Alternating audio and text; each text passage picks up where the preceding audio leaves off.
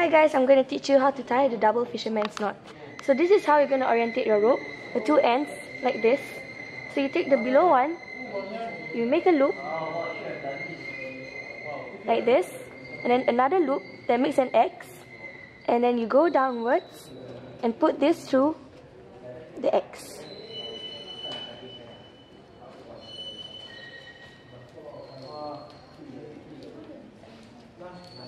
This way and make sure you have an excess rope here.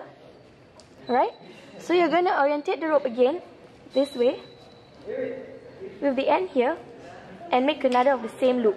Okay? One loop around another one more that forms an X and after that go down and through the middle of the X.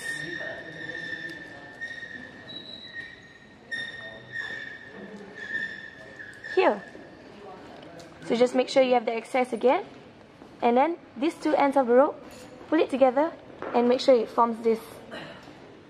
Alright? And that's all.